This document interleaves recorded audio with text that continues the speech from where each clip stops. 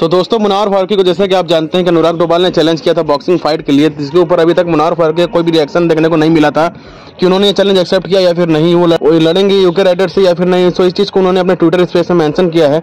और क्या कुछ कहा है आप खुद सुन लीजिए और प्लीज़ चैनल को सब्सक्राइब भी कर लीजिएगा।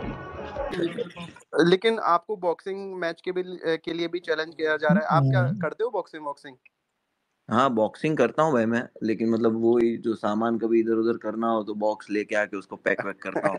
वो अच्छा। वाली बॉक्सिंग बहुत हम अच्छे से कल करता हूँ। कल हम यही सोच रहे थे आ, ये मुनावर भाई हम कल यही सोच रहे थे कि मैच हुआ मैं एलविश की बॉलिंग देखकर जो उसने शुरू में दो डेड बॉल डाली और फिर ट्रायल बॉल डाली तो मैं देखकर तो यही सोच रहा था कि हमें फ़ील्ड पर आजकल क्रिकेट में इतना एंटरटेनमेंट नहीं देखने को मिलता है।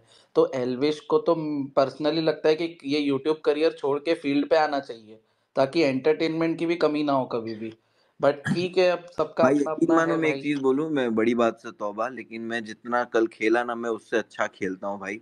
लेकिन भाई वो ग्राउंड पे ना ऐसे लेजेंड्स के बीच में एक अलग प्रेशर होता है और उसका भी तो उसका सवाल यही आया है कि आ, आ, कि इससे पूछो कि कमेटी में धर्म क्यों घुस आता है? पूछो।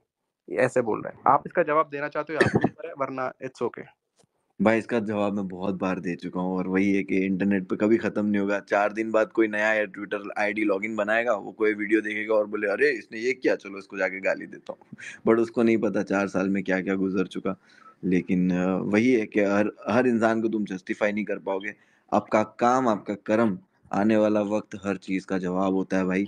और मैं इतनी, इतना फेथ तो रखता हूँ कि आने वाला वक्त आज मेरे को उस उस दौर भी देख लिया और आज ये भी दौर दिखा रहा है। कि भाई जो लोग नहीं पसंद करते तो वो भी प्यार भेजते क्योंकि जान गए, जानते हैं, एक इन जो सोशल मीडिया पे जो नैरेटिव चलता है, वो नैरेटिव से भाई गलत फहमी पालना या गलत समझना, किसी को आउट ऑफ़ कॉन्टेक्स किसी चीज़ को लेना बहुत आसान होता है। लेकिन जब इंसान डिटेल में जानता है, तब पता चलेगा कि भाई मैं कहाँ मोदक खाता हूँ, मैं कहाँ फुलझड़ियाँ जलाता हूँ और कहाँ होली खेलता हूँ।